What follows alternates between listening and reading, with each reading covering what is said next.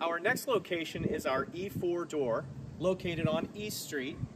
East Street is going to be for our bus parking.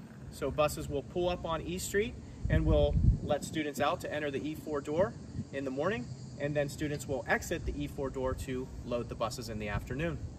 No parking will be permitted on East Street on either side between the hours of 8:30 a.m. and 9:15 a.m. in the morning and 3:15 to 3:45 p.m. This is strictly for buses only.